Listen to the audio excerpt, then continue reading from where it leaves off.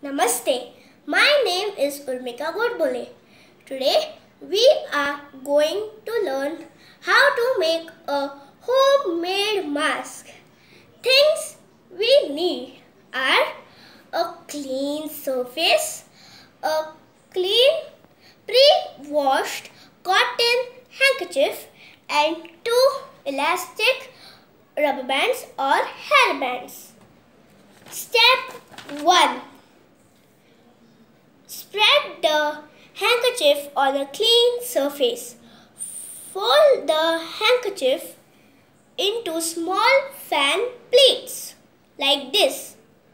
Continue folding till the end of the handkerchief.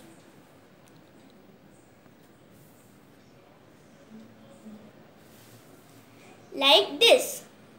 Step 2 Take an elastic rubber band and insert it and insert it into one end of the handkerchief. Repeat the same step for the other end with an another rubber band. Your mask is ready to wear.